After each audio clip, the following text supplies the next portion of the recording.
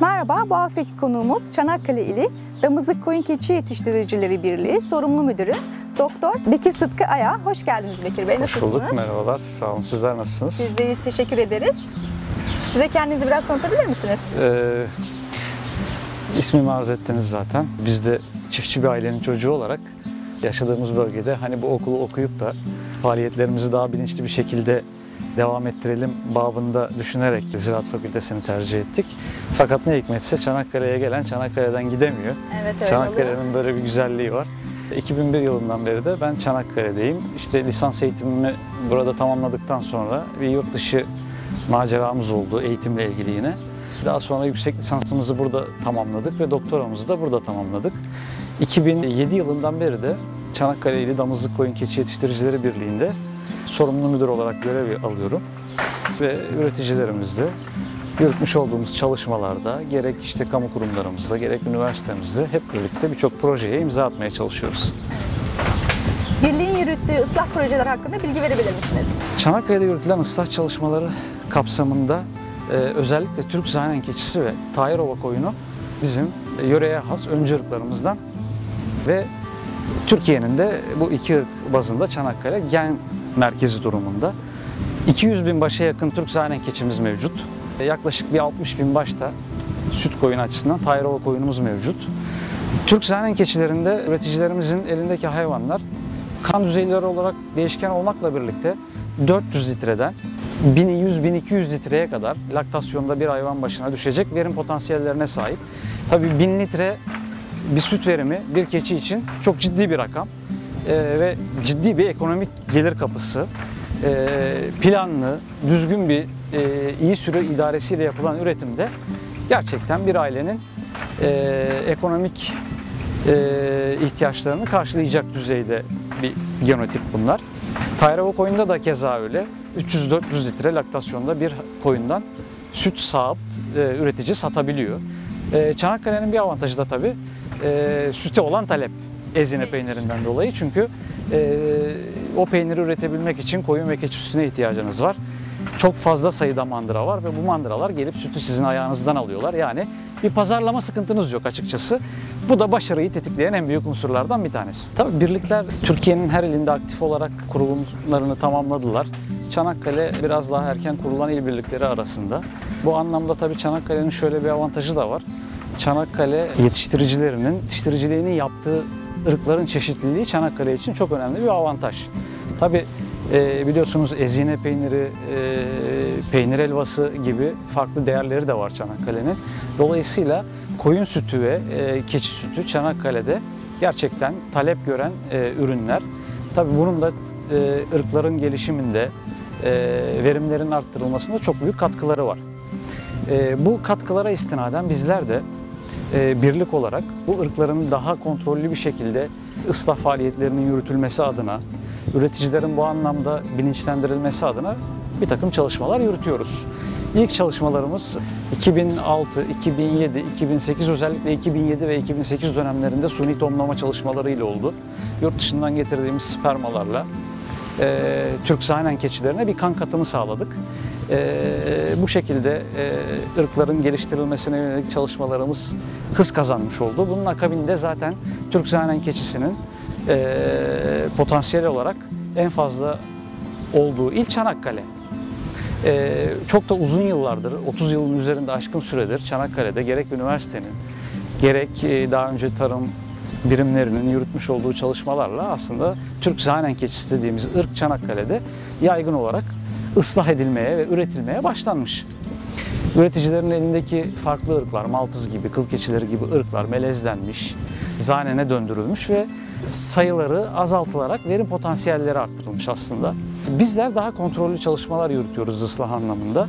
Bunlardan ilki Gıda Tarım ve Hayvancılık Bakanlığı'nın nezdinde başlatılan birliklerle ortak yürütmüş olduğu halk elinde ülkesel hayvan ıslahı projeleri.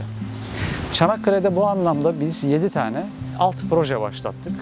Bunlar kıl keçisinde, Türk zanen keçisinde, e, sakız koyununda, Tahirova koyununda ve Karacabey merinosu koyununda ırklarda farklı sayılarda toplam 7 projemiz vardı.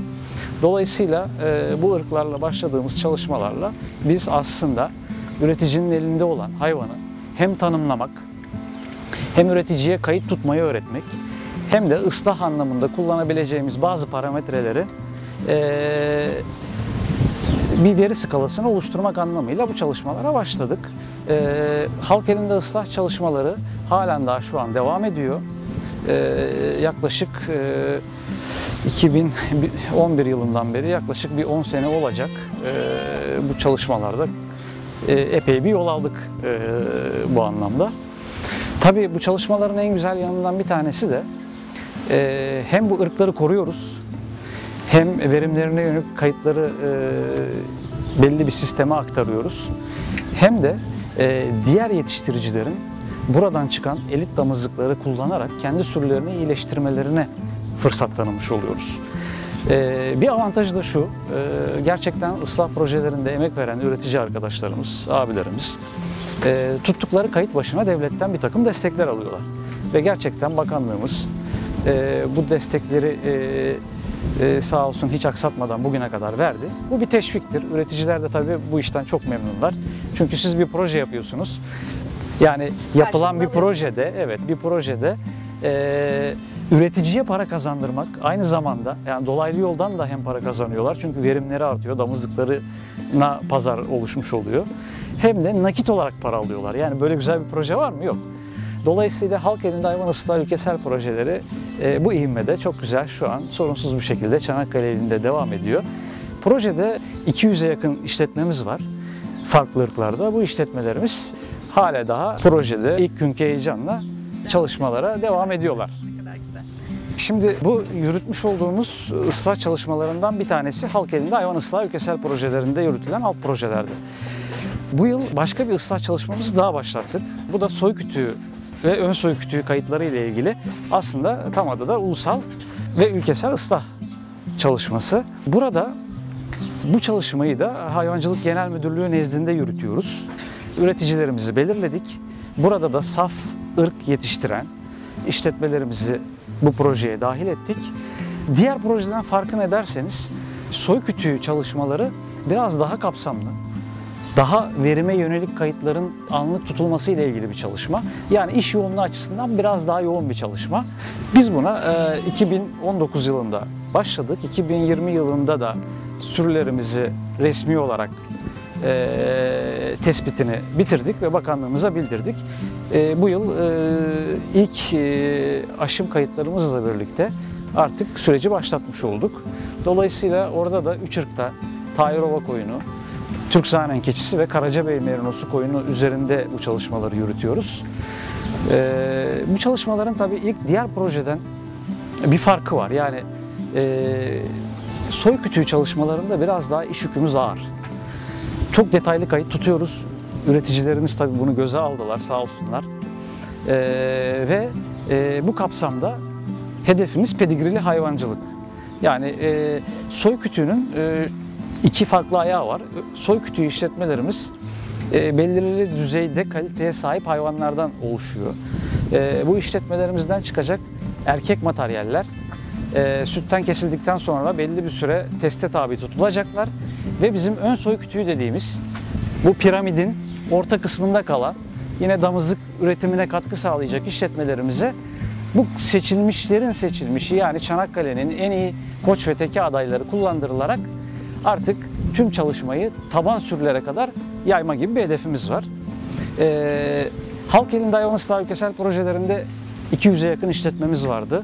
Şimdi soy kütüğü çalışmasıyla birlikte de e, direkt soy kütüğü kayıtlarını tutan 30 işletmemiz, ön soy kütüğü kayıtlarını tutacak olan ve soy kütüğü kayıtlarından doğacak olan yani soy kütüğü çalışmalarından doğacak olan yavruları da kullanacak yaklaşık bir 50 işletmemiz var. Dolayısıyla e, bunlarla birlikte toplam e, onun üzerinde bir ıslah çalışması Çanakkale elinde yürütülmüş oluyor. Bu çok güzel bir şey. Yani bu kadar ırk potansiyelinin olduğu bir ilde e, bu ırkların kontrollü bir şekilde yetiştirilmesi, üreticinin bu kadar bilinçli olması, hevesli olması, bakanlığımızın da bizim hevesimize karşılık bu, da, e, bu gibi çalışmalara destek vermesi tabii bizleri de mutlu ediyor. Birlikler de gerçek faaliyetlerini yapmış oluyorlar. Gerçekten e, Türkiye'de damızlık koyun keçi yetiştiricileri birlikleri birer ıslah amaçlı yetiştirici birliğidir. Asıl işi ıslahtır. Biz bu çalışmaları yaparsak ülkemize hem ekonomik olarak e, katkılar sunmuş oluruz.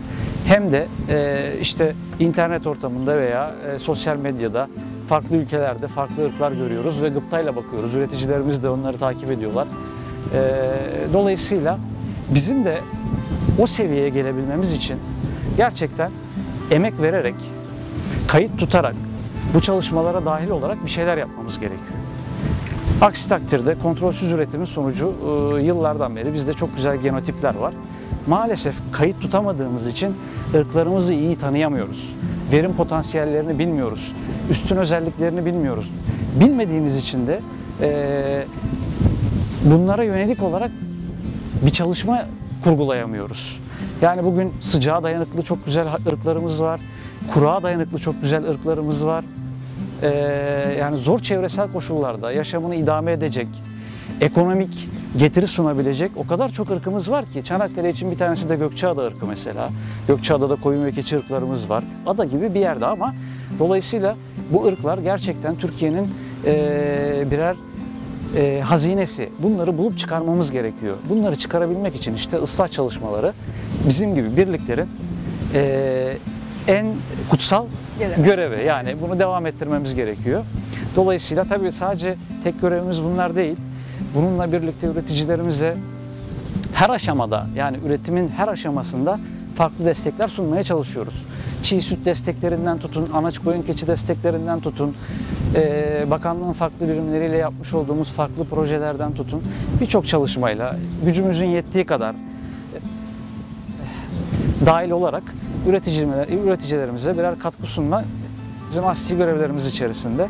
Biz de bir nebze de olsa bunları başardığımıza inanıyoruz ve her yılda arttırarak bunları devam ettirmeye çalışıyoruz. Bekir Bey bu sohbet için size çok teşekkür ederiz. Biz teşekkür ederiz. Ne demek? Bekir Bey ile Çanakkale'de ıslah projelerini konuştuk. Kendisine tekrar çok teşekkür ederiz. Bir sonraki videoda görüşmek üzere, hoşçakalın.